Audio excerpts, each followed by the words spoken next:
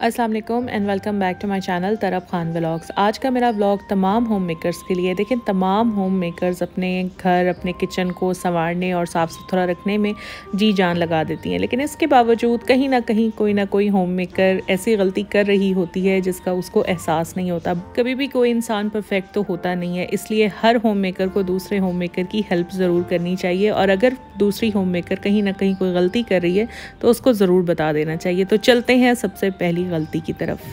सबसे पहली और इंपॉर्टेंट बात किचन डेकोरेशन के नाम पर किचन काउंटर्स को बिला वजह डेकोरेशन पीसीस से भर लेना is not a sensible thing modular kitchen इसीलिए वजूद में आए थे कि ताकि मैक्सिमम चीज़ें कैबिनेट्स के अंदर चली जाएँ और किचन काउंटर ज़्यादा से ज़्यादा खाली रह सकें, ताकि होम मेकर को किचन काउंटर पर काम करने में आसानी हो सके। किचन काउंटर को जितना आप डेकोरेशन पीसीस से भरेंगे, उतना ही आपके लिए किचन काउंटर पर काम करना भी मुश्किल होगा। दूसरा, सफ़ाई करना भी आपके लिए बहुत मसला हो जाएगा, क्योंकि काउंटर को साफ़ करने के लिए पहले आपको सौ चीज़ें यहाँ से उठानी पड़े पड़ेंगी, फिर काउंटर साफ़ करना पड़ेगा और फिर सारी चीज़ों को वापस काउंटर पर रखना होगा।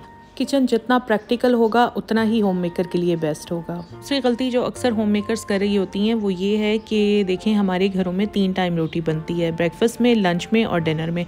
हम रोटी तो बना लेते हैं, लेकिन हम अक्सर इग्नोर कर देते हैं और अपना चकला, बेलन यानी कि रोलिंग पिन और बोर्ड हम वॉश करके नहीं रखते।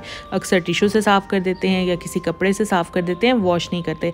चकले, बेलन को भी डेली इसी तरह से वॉश करना चाहिए, जिस तरह से हम अपने डेली बर्तनों को वॉश करते हैं।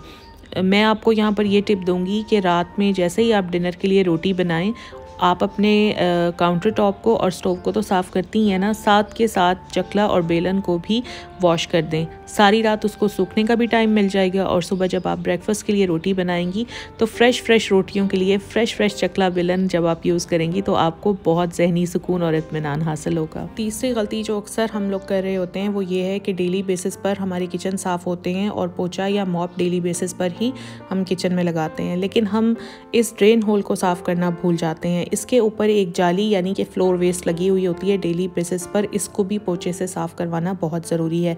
इसके ऊपर अगर कोई खुराक, आटा या कचरा पड़ा रह गया तो रात को कॉकरोच उसकी स्मेल सूंघ कर और यहाँ से ड्रेन होल के सुराख से निकलने की कोशिश करेंगे। इसलिए इसको ज़रूर साफ़ रखा करें।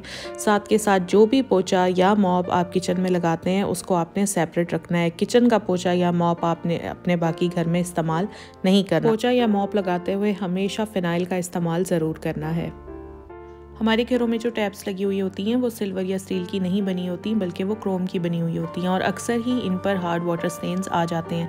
मैंने इन स्टेन्स को साफ़ करने के लिए vinegar washing liquid baking soda गर्ज के हर ऐसी टिप यूज़ की है, जिससे ये स्टेन्स मुकम्मल तौर पर साफ़ हो जाएँ। लेकिन इन तीनों चीज़ों से ये स्टेन्स किसी हद तक ही साफ़ होते हैं, मगर मुकम्मल तौर पर साफ़ नहीं होते। आजकल एक ट्रिक बहुत ज़्यादा वायरल हो रही थी, मैंने सोचा ट्राई करती हूँ और आप लोगों को भी दिखाती हूँ। ट्रिक ये है कि आपने मोमबत्ती लेनी है और मोमबत्ती लेकर जहाँ भी हार्ड वाटर स्टेन्स लगे हुए हैं, उस स्टेप पर आपने ये मोमबत्ती रगड़नी शुरू कर देनी है। मुझे तो लग रहा था कि मैं मोमबत्ती रगड़ूँगी और जैसे ही साफ़ करूँगी तो कोई करिश्मा हो जाने वाला है, सारे स्टेन साफ़ हो जाएँगे।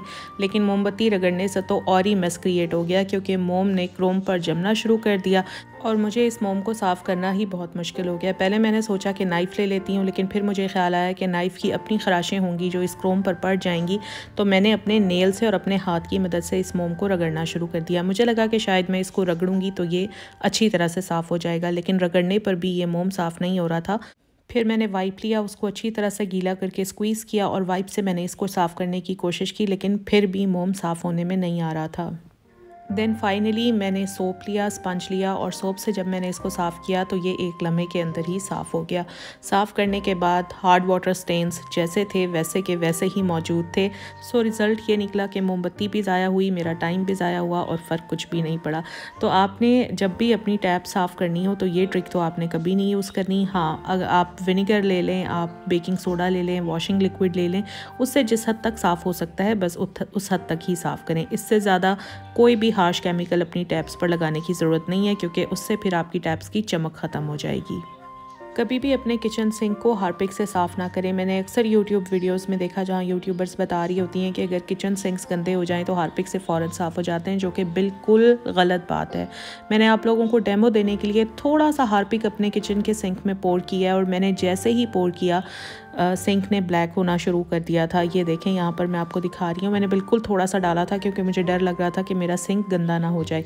कभी भी आपने सिंक को साफ़ करने के लिए हारपिक इसमें पोर नहीं करना और ये दाग इतने सख्त हैं कि मैं कब से इन्हें साफ़ करने की कोशिश कर रही हूँ, ये फिर भी साफ़ नहीं हो एक और गलती जो हम होम मेकर्स अक्सर ही कर रहे होते हैं, वो ये है कि हम अपने किचन काउंटर्स और स्टोव को साफ़ करने के लिए एक लिक्विड बनाते हैं और उस लिक्विड में हम विनीगर और पानी का इस्तेमाल करते हैं। अगली बार जब भी आपने अपने किचन काउंटर्स और स्टोव को साफ़ करने के लिए लिक्विड बनाना है तो आपने पानी लेना है, उसमें थोड़ी सी मकदार विनेगर की डालनी है और फिर उसमें वॉशिंग पाउडर भी ऐड कर देना है।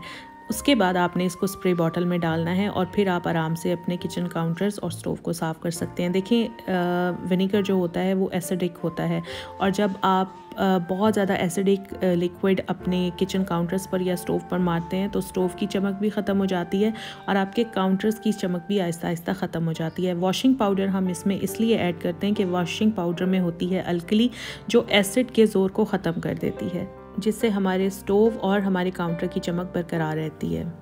माइक्रोवेव तो सभी के घर में होता है। किसी के पास कोई मॉडल है तो किसी के पास कोई मॉडल। जैसे ये जो मेरा माइक्रोवेव है, ये बहुत पुराना मॉडल है। ये मेरे जहेज़ का माइक्रोवेव है। मेरी शादी की उम्र भी सत्रह साल है, माशाल्लाह, और इस माइक्रोवेव की उम्र भी सत्रह साल है। अच्छा अक्सर हम क्या करते हैं कि माइक्रोवेव को हम कवर कर देते हैं, ठीक है? माइक्रोवेव को कभी भी कवर नहीं करना चाहिए। हमें लगता है कि शायद कवर करने से इसकी नीट लुक आएगी, लेकिन ये हमारी गलत सोच होती है, क्योंकि माइक्रोवेव की टॉप पर अक्सर ही इस तरह से होल्स बने हुए होते हैं, जहाँ से एक्चुअली हीट हीट ने बाहर निकलना होता है। जब हम इसको कवर कर देते हैं ना तो हीट को बाहर निकलने का रास्ता नहीं मिलता और इस तरह माइक्रोवेव के जलने का खदशा होता है। कभी भी आपने अपने माइक्रोवेव के टॉप को कवर नहीं करना अगर उसके ऊपर इस तरह से होल्स बने हुए हैं, ठीक है?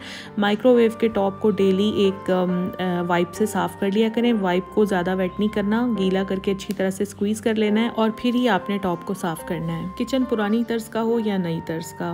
किचन में विंडो लाजमी होती है, जो बेसिकली हमारे किचन का एक सॉस सिस्टम होती है।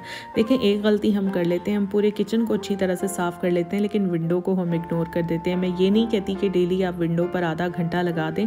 डेली तीन से चार मिनट एक डस्टिंग वाला कपड़ा लेकर बस इस तरह से अपनी विंडो को झाड़ लिया करें, ताकि मिट्टी कचरा साथ के साथ बाहर निकलता रहे। अगर आप इसको डेली साफ़ नहीं करेंगी तो फिर इसमें गंद इतना ज़्यादा जमा हो जाएगा कि फिर आपको इसको प्रॉपर साफ़ करने के लिए अपना बहुत ज़्यादा टाइम कंज्यूम करना पड़ेगा। तो बेहतर है डेली तीन से चार मिनट निकाल कर अपनी इस विंडो को झाड़ लिया करें। सुबह से लेकर रात तक हमारे किचन में बर्तन तो वॉश होते ही रहते हैं, लेकिन इसका मतलब ये हर चीज़ नहीं है कि जब भी बर्तन वॉश होंगे सिंक भी लाजमी वॉश होना है। लेकिन दिन में एक बार, सिर्फ़ एक बार प्रॉपरली अपने सिंक को साफ़ करना बहुत ज़्यादा ज़रूरी होता है। जैसे मेरे घर में जब हम लंच से फारिग होते हैं और लंच वाले बर्तन सारे वॉश होते हैं, उसके फ़ौर बाद मैं अपने सिंक को साफ़ कर लेती हूँ। हर होम मेकर ने अपना टाइम फिक्स किया हुआ होता है, जैसे कुछ लोग रात में साफ़ करते होंगे, कुछ लोग दिन में साफ़ करते होंगे।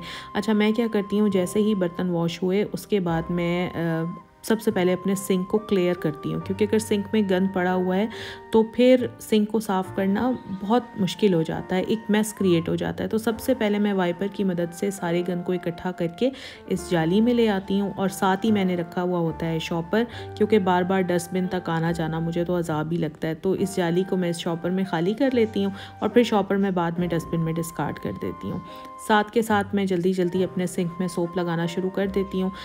वैसे तो मैंने विनेगर वॉशिंग लिक्विड और वाटर का एक सोल्यूशन बनाकर रखा हुआ है। समटाइम्स मैं उससे साफ़ कर लेती हूँ और समटाइम्स लेमन मैक सोप और स्पंज की मदद से ही मैं अपने सिंक को साफ़ कर लेती हूँ। बर्तनों वाला स्पंज और सिंक साफ़ करने वाला स्पंज आपने हमेशा सेपरेट रखना है। सिंक को वॉश करने के बाद अच्छी तरह वाइप से या किसी भी माइक्रोफाइबर क्लॉथ से अपने सिंक को लाजमी ड्राई आउट कर लें ताकि वाटर के स्टेन्स आपके सिंक में ना पड़ जाएँ।